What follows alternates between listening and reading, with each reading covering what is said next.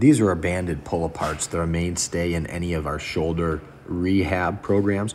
Uh, three different variations. I like palms up, arms straight. This one here is palms forward, pulling down to your lats.